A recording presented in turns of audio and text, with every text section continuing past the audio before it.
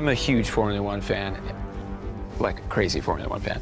And um, I have, you know, scored lots of films. I've done, you know, Iron Man 3 and the Fast and Furious movies and Avengers, Age of Ultron, and movies like that. I always found that when I'm doing a movie, for instance, I, it's, it's the script. I know what's going to happen. There's anticipation of knowing how usually movies go. In sports, there's none of that.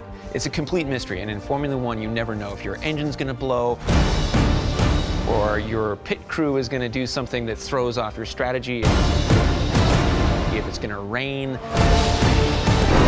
There's no comparison to the real life drama that happens in sports in general, but, but Formula One in particular. I mean, I, I can't wait to, you know, watch the race and, and hear the music with it. It's going to be a very proud moment for me. Um, and uh, something that, that I will always remember. I feel like this is the thing that they will say at, at the end for me. the Formula One theme writer. I'm hoping.